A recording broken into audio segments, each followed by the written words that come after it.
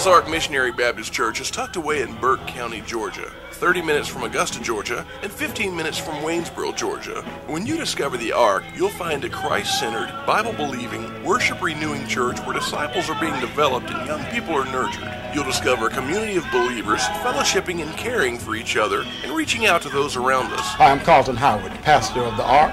That's the Noah's Ark Missionary Baptist Church, inviting you to come join us. We're the country church carrying out the kingdom's agenda.